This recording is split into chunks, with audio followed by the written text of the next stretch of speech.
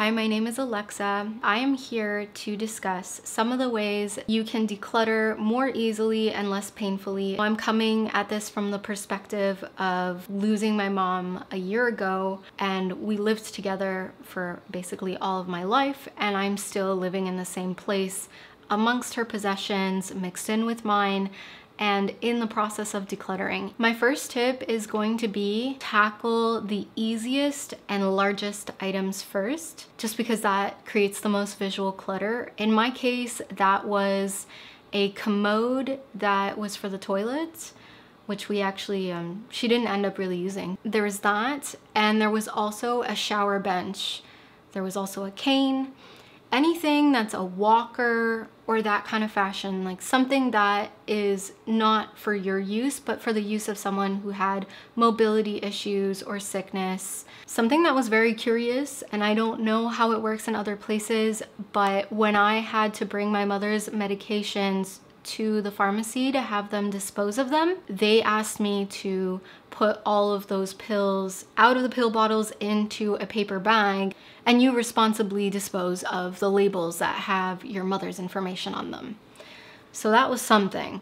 And then there were things that are basically trash and easy to declutter around the house, such as receipts, papers that serve of no use for you anymore, and that might be very, very old tax documents, anything that you just really, really don't need anything that they wore frequently while they were going to the hospital or in treatments when there was weight fluctuations. Anything that was stained, had holes, looked very worn in. I disposed of that right away because a lot of those items actually brought me memories, especially once I knew she wasn't coming back from the hospital. I had to release those possessions because it was going to be a very difficult road ahead. Definitely have a relative come and help you or a friend from time to time. It doesn't always have to be the same person, but that that's a later tip. The next thing I would say is to just really give yourself time to process and grieve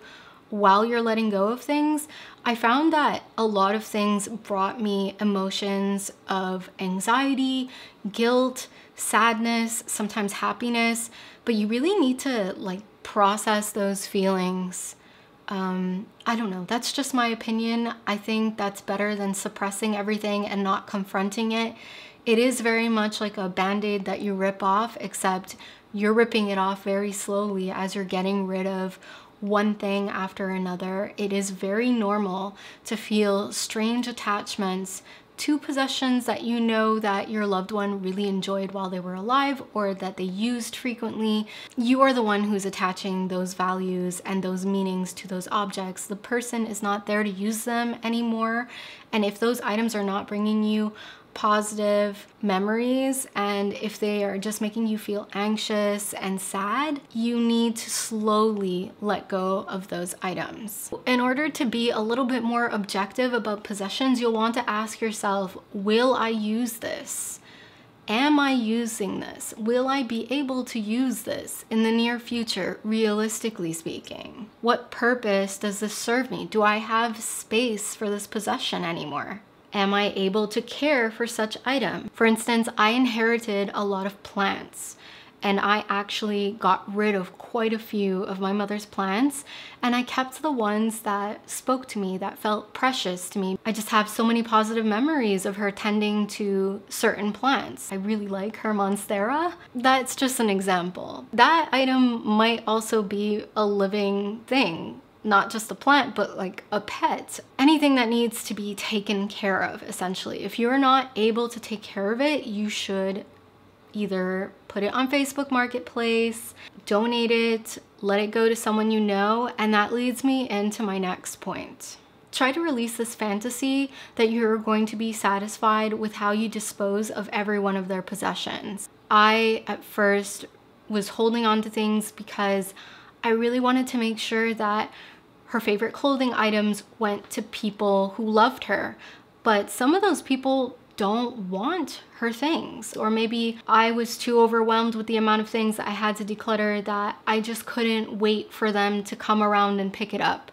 or didn't have the right moment to actually section off a batch of things that they would specifically like. So I had her best friend come over and come and pick out things that I didn't want and that I didn't mind if she took. But in other cases, I didn't have that opportunity. And what I did was I just donated them. You can get in touch with women's shelters if it is in the case of a mother or a sister that has passed away or a friend. If not, there are men's shelters, or you can just donate or throw it out. I know that hurts to say and it hurts to think that you're throwing out the things that your loved one loved and cherished and used, but they would want you to be happy and not feel suffocated by the sadness of their memory. You have to give yourself grace. So I mentioned this briefly before, but ask for help. It doesn't necessarily have to be someone who comes in to declutter for you and with you. It could be someone that helps drive you to go and drop things off at the Salvation Army or a donation center. Someone who can pick those items up from your place or make a few calls for you to kind of soften some of the after death chores that you have to do, so to speak, the, the quote unquote housekeeping. It's so wild how all of this stuff is expected of you.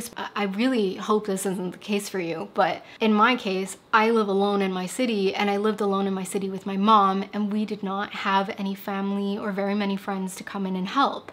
It's really tough when you don't have people to lean on.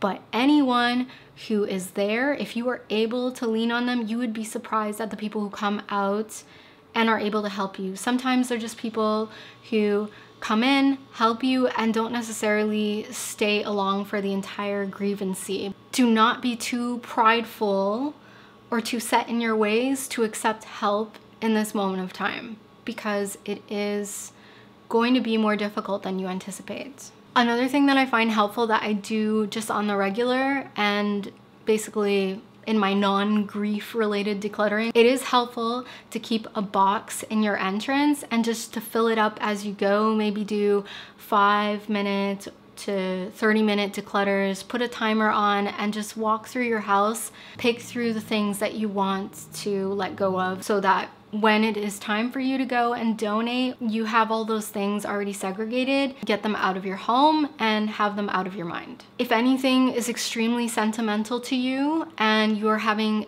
a difficult time letting it go, but you know it's not gonna be something that you're gonna keep to use, it's not something that you would like to wear, you can always take a picture of it before you let it go from multiple angles and put it in a memory folder on a hard drive. And I suggest don't visit it very much unless you really wanna have a cry sesh and get stuff out of your system. This bit is a little bit of a tangent, but one thing that I found that really helped me that's not really related to decluttering but did help boost my ability to declutter. I did two vacations in the year, which I normally wouldn't have done, A, because I was caregiving for my mom full time by myself, and B, because money, I did set aside some funds because of doing low buy and being conservative over the last couple of years while I was taking care of her to take vacations and get myself out of this environment. Sometimes you just need to take a walk. You just need to go see a friend. You need to maybe try something new out of the ordinary before you come back to your routine. But changing your environment will really have an effect on your mood because yes, of course, I still missed my mom when I was on vacation and I had these thoughts like, oh, she would love this place. Or whenever I'd go to a store, I'd be like, oh my gosh, I know my mom would love that shirt. But there was something about not being surrounded by her possessions that sort of gave me a little bit more relaxation or a break from the typical type of grief that I was experiencing while surrounded by the possessions in the apartment that we lived in together. You will never not feel sad about the person that you lost. But rearranging the apartment while decluttering was just a game changer for me. It helped me so much when I would come back home from work and come to a bedroom that was completely neutral and very different than the way that it was while I was taking care of my mom. If you are feeling that this is all so overwhelming and that you're having difficulty letting things go, like it's normal to have your off days, but you definitely still need to be functional and be able to take care of yourself, you should probably see a therapist or seek grief counseling. I personally haven't, but it was on my radar for a while and it still is. I feel like I might need to because of residual feelings, but therapy is always a good idea whenever it happens, as long as you find the right place and keep an open mind and are willing to at least try. If decluttering certain things seems too difficult right now, you can box them up, put them in storage, and tackle them later. I don't think you should wait too long though. Um, you might find that your feelings have changed, but if you're having trouble coping, you might just be reopening wounds a year later. So that's why I think anything that you're immediately ready to declutter, declutter it as soon as possible. Those easy things, those things you're never going to use. As you work that decluttering muscle, especially during grief, you will be able to work through quite a few feelings understand some of your pain points. It'll also help you grieve. Honestly, I, I grieved so much while I decluttered. It's already especially difficult just without grief intertwined because ultimately things really are just things and we are the ones who assign meaning to them. So keep the things that have the positive meanings to you and let go of the rest. And really don't beat yourself up for not having finished everything in the time that you imagined you would have finished it in. I had this unrealistic expectation that I would already be done and it has been 12 months since she has passed and I am not finished. I have linked a PDF of a list of things, 100 things that you can declutter. They can apply to whether you are grieving or not. They can help set a guideline. Maybe you can pick one or two a day and make it your prerogative to work your way down the list as you go through your decluttering journey that will be in the link in the description box and in the pinned comment. Check out my decluttering videos if you are looking for inspiration. I post decluttering videos all the time and I have a playlist of my journey going through this grief period. I wish you all the best.